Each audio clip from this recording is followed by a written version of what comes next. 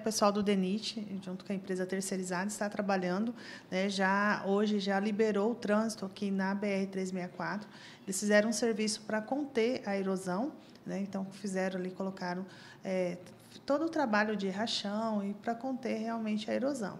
Até que se foi é, para aguentar o, o tempo de se fazer aqui a via de acesso. Essa via de acesso é uma via que será feita aqui na Avenida 7 de Setembro, que vai ligar o centro ao bairro bairro Preto, Brasilândia, né, que é ali do outro lado.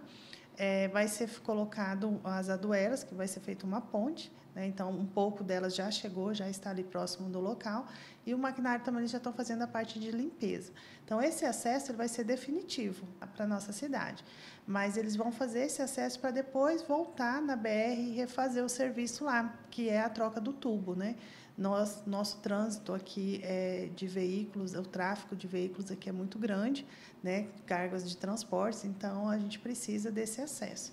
Então a equipe está trabalhando, hoje eu estive lá, é, o topógrafo deve estar chegando essa semana para já iniciar o aterro, né? que ali vai ter que ser feito é, um aterro é, para essas aduelas. Então, eu acredito que aí, seguindo o prazo que eles falaram de 60 dias, essa obra, essa via que vai estar pronta. E como que vai funcionar essas laterais que estão sendo abertas?